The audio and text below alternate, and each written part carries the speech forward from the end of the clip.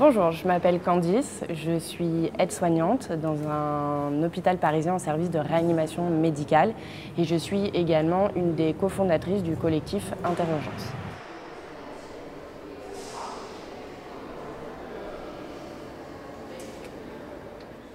Alors, grâce à notre mouvement de lutte et notre militantisme, on a pu euh, rencontrer euh, différents euh, autres collectifs qui sont acteurs du soin et de la santé, notamment les économistes atterrés, notamment l'association Pourquoi se lever le matin et d'autres associations présentes où, les noms m'échappent. Et en fait, le, but de notre visite aujourd'hui, c'était de participer à cette réflexion sur la refonte et la refondation du système hospitalier pour y remettre au goût du jour l'humain et y dégager aussi des perspectives pour les prises en charge, que ce soit pour les usagers et pour améliorer les conditions de travail des soignants sur le terrain.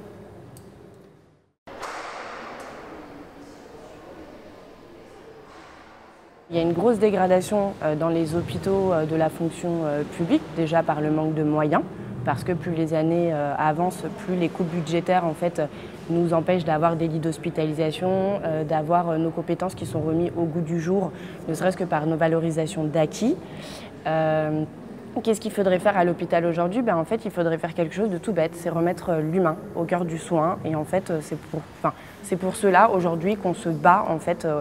sur le terrain, donc que ce soit pour faire évoluer nos compétences de travail, que ce soit dans des groupes de formation euh, ou là euh, les ateliers euh, comme à Marseille, où on discute et on échange sur cette façon de, de, remettre l'humain en fait dans le cœur du soin et ce soin qu'il soit adapté en fonction bah, des besoins en fait de l'humain, donc qu'il soit dans la précarité ou qu'il soit aisé, mais qu'il ait les mêmes chances et les mêmes accès aux soins, ce qui n'est pas du tout le cas aujourd'hui.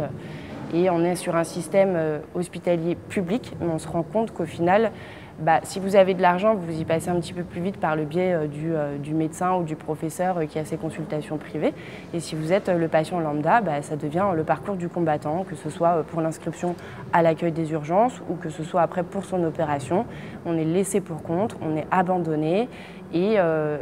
du fait qu'il y ait beaucoup moins de soignants sur le terrain, concrètement, les, patients, donc les usagers hein, qui se battent tous les jours pour leurs conditions de, soins et les améliorer, bah, se rendre compte qu'en fait, on n'est pas là et qu'on fait un métier qui est formidable, mais qu'on n'a plus le temps aujourd'hui de s'occuper de l'humain.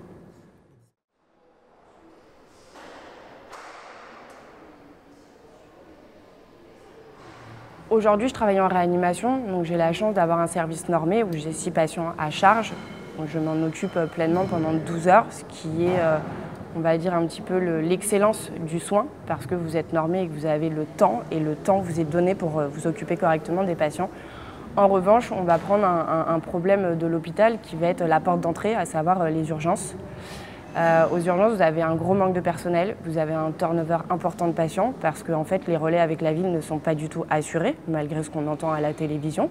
et qu'on en revient à ce que je vous disais il y a quelques minutes, le parcours du combattant, à savoir trouver un médecin, ne serait-ce que pour avoir un renouvellement d'ordonnance, eh ben c'est pas possible. Alors on va prendre ne serait-ce qu'une ville de Paris, et ben à Paris c'est très compliqué de trouver un médecin, et la porte d'entrée, la seule lumière qui reste éclairée pour les gens à l'heure d'aujourd'hui, reste le service hospitalier public, donc les services des urgences. De ce fait d'y avoir beaucoup de gens qui viennent pour répondre à leurs besoins, donc on va dire un besoin primaire qui va être l'urgence vitale, mais la porte des urgences, c'est aussi là pour régler tout ce qui est problèmes sociaux. On ne se ment pas, vu qu'il n'y a pas de budget qui est mis dans le social, et eh ben, c'est repoussé sur l'hôpital public. Et en fait, on s'aperçoit que en, un minimum de temps, dans un endroit clos, il y a trop de personnes qui sont au même endroit et qui se sentent en fait pas du tout pris en charge avec une égalité. Donc, euh, on, va se retrouver avec des, scènes de violence. Euh, à ça, vous rajoutez le manque de personnel, donc du coup, euh, complètement cette déshumanisation qui est vraiment bien vécue, ce, côté de, solitude malgré le fait d'être aux urgences, eh bien, vous, avez bah, des gens qui, vous tapent, des gens qui vous insultent, vous avez une perte de chance au niveau de la prise en charge, parce que qui dit moins de personnel dit forcément plus d'attente pour les patients, qui dit euh, bah, du coup une perte de chance, voire euh, bah, la mort, et ça nous est souvent arrivé dans nos services d'urgence. Donc euh, on va vers une déshumanisation complète depuis à peu près 11 ans dans les services publics et on en vient vraiment à se poser la question, enfin, quel est le devenir de l'hôpital public qui est quand même le fondement de notre société et qui est, et qui est l'or au niveau du soin.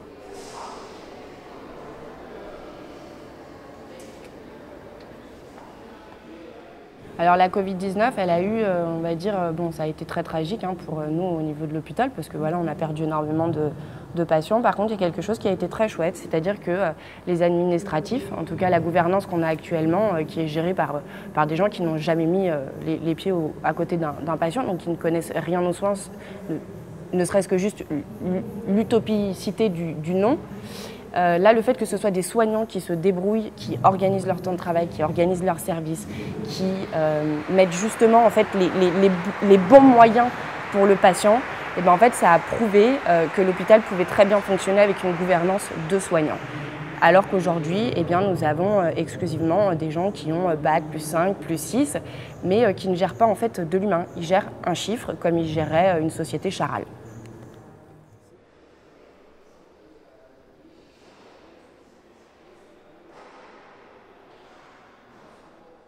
L'hôpital, c'est un bien commun euh, aux yeux de tous. C'est euh, le fondement de notre société. Et en fait, ce bien commun, il faut y faire attention. Et l'objectif de la journée est de rencontrer en fait d'autres associations et d'autres partenaires, que ce soit euh, des usagers ou même bien, bien plus loin sur une forme beaucoup plus intellectuelle. Donc on va reprendre le groupe des économistes atterrés ou l'association Pourquoi se lever le matin. C'est de réfléchir et de partager ensemble euh, encore une fois, et désolé pour la redite, euh, euh, ce bien que nous avons qui est le soin. Et pour pouvoir soigner correctement, il faut des moyens. Pour pouvoir trouver des moyens, il faut trouver des leviers. Et le but d'échanger tous ensemble, c'est de pouvoir trouver ces leviers, de les déposer sur un papier et de prouver à notre gouvernement, à savoir euh, le ministre de la Santé, on va le, on citer, à savoir notre Premier ministre et le Président qui s'étaient engagés à, mettre un, coup de fouet sur l'hôpital, et ben on va leur prouver que nous, en fait, de nos réflexions personnelles, nous, personnes engagées, soignants, soignés, euh, de nos réflexions, on est capable en fait, de pouvoir aboutir euh, à, à, des actions, ou en tout cas des éléments de réflexion pour y remettre l'humain au bout du jour.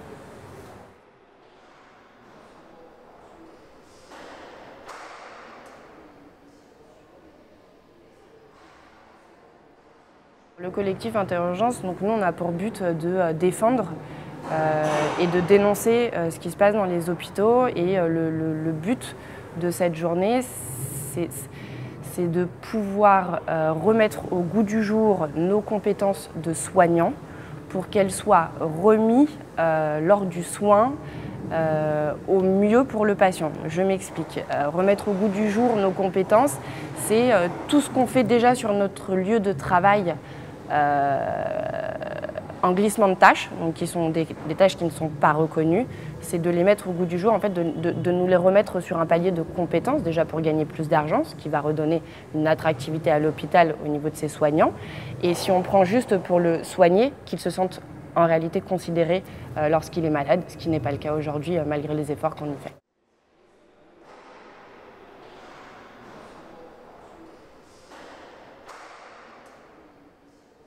Le collectif Interurgence s'inspire exactement de faits réels, c'est-à-dire notre travail au quotidien, donc euh, pour l'occasion, euh, bah, notre travail aux urgences, hein, cette lumière qui reste ouverte toute la journée et qui n'est ni plus ni moins pardon, le miroir de la société, donc à savoir euh, violence, déshumanisation, perte de sens. Et même si je parais très négative dans ce que je dis, on va dire que plus on informe la population sur les dangers du soin et euh, sur cette perte de chance, plus on arrivera en fait sur un aspect solidaire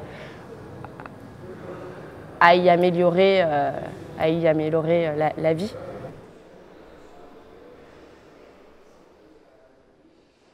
Je pense qu'il faut remettre euh, bah, de l'argent dans l'hôpital public parce qu'on a des grandes annonces qui sont faites par notre gouvernement mais qui en fait euh, ne sont qu'utopie. Voilà, personne ne les voit sur le terrain, euh, on n'a pas plus de lits d'hospitalisation, au contraire on enferme pour pouvoir promouvoir les, grands groupes hospitaliers alors que toute la population réclame l'hôpital de proximité.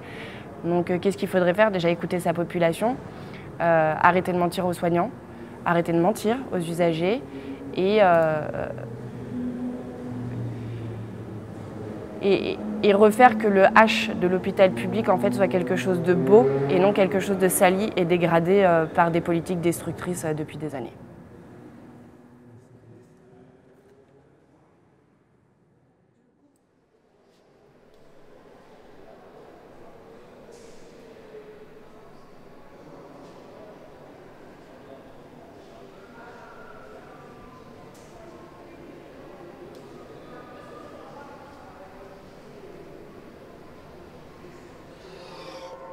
Ha ha ha.